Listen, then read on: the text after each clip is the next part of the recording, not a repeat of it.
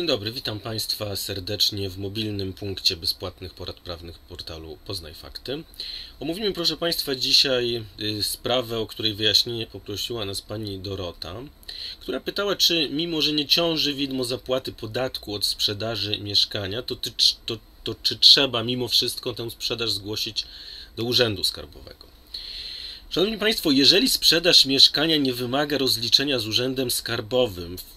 ze względu na to, że nie podlega w ogóle opodatkowaniu. Na przykład dlatego, że minął już pięcioletni okres od jego zakupu, albo pięcioletni okres od jego zakupu przez e, spadkobiercę, jeżeli, jeżeli uzyskaliśmy to mieszkanie drogą spadkobrania,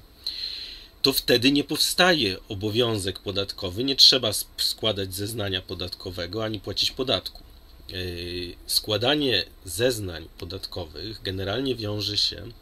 z zaistnieniem obowiązku podatkowego, nawet jeżeli nie skutkuje on zobowiązaniem podatkowym i, i jakby rozróżnienie tych dwóch kategorii pozwoli nam zrozumieć i, i sobie łatwo wyjaśnić, kiedy będziemy no, zobowiązani do składania jakichś dokumentów yy, do Urzędu Skarbowego. Treścią obowiązku podatkowego jest, można powiedzieć, abstrakcyjna powinność przymusowego świadczenia pieniężnego, która przekształci się dopiero w zobowiązanie podatkowe konkretne, określające jakąś kwotę podatku mm, do zapłaty, jak też warunki jego płatności. Czyli obowiązek podatkowy powstaje na przykład w momencie uzyskania jakiegoś dochodu, na przykład z tytułu wynagrodzenia, ale ze względu na to, że możemy na przykład korzystać z licznych ulg i zwolnień, to może się okazać, że nie przekształci się on w konkretne zobowiązanie podatkowe, czyli w konkretną kwotę podatku. No i w związku z tym nie będziemy musieli zapłacić podatku dochodowego, ale i tak zeznanie podatkowe, nawet wtedy, jeżeli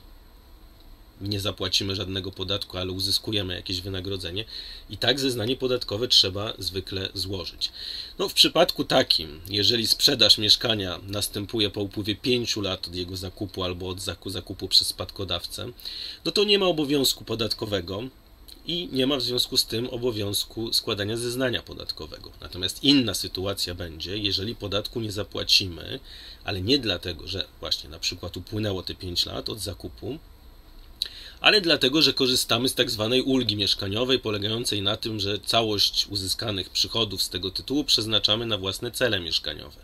Wtedy obowiązek podatkowy jak najbardziej jest, tylko my korzystamy ze specjalnej ulgi, więc musimy złożyć zeznanie PIT 39, w nim wykazać dochody uzyskane z odpłatnego zbycia nieruchomości w danym roku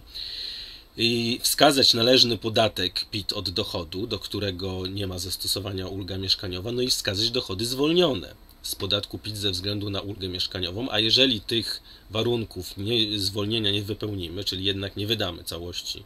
naszych y, y, dochodów na własne cele, cele mieszkaniowe w określonym terminie, czyli w terminie 3 lat, no to będzie trzeba złożyć korektę i podatek zapłacić. Jeszcze inna sytuacja jest, gdy, gdy otrzymujemy darowiznę lub spadek, zapis testamentowy, generalnie jakieś nieodpłatne przysporzenie, od którego normalnie trzeba byłoby zapłacić podatek od spadków i darowizn ale dostajemy go od osoby z tak zwanej zerowej grupy podatkowej, czyli od osób najbliższych, na przykład od małżonka, od wstępnych czy wstępnych, czyli dzieci, rodziców, yy, dziadków, wnuków, wówczas możemy uchylić się od konieczności zapłacenia tego podatku, ale pod warunkiem złożenia odpowiedniego zgłoszenia na formularzu SDZ2 do Urzędu Skarbowego w terminie 6 miesięcy od powstania obowiązku podatkowego. Jeżeli tego nie zrobimy, no to trzeba będzie podatek zapłacić. Także decydująca tutaj dla nas będzie kategoria obowiązku podatkowego. Jeśli on nie powstał, tak jak w przypadku sprzedaży mieszkania, która pierwotnie nie podlega opodatkowaniu, jakby ze swojej natury, bo sprzedaż mieszkania po upływie 5 lat od jego, y, od jego zakupu nie podlega opodatkowaniu, no to nie powstaje obowiązek podatkowy, nie ma zeznań czy zgłoszeń, ale jeżeli nie płacimy podatku, bo korzystamy z jakichś ulg czy zwolnień, no to z zasady jakieś dokumenty do Urzędu Skarbowego trzeba, złożyć, natomiast y, no, w tym przypadku o który, o który, jak y, tutaj rozumiem, pani pytała, czyli, czyli tej, y, tego, tego faktu, że y, mieszkanie nie podlega, sprzedaż mieszkania nie podlega opodatkowaniu ze względu na upływ tych, tych terminów, to nie ma obowiązku składania zeznania podatkowego, no czy jakiegoś innego zgłaszania tej, tej sprzedaży do Urzędu Skarbowego. Bardzo dziękuję za uwagę, życzę powodzenia i do usłyszenia.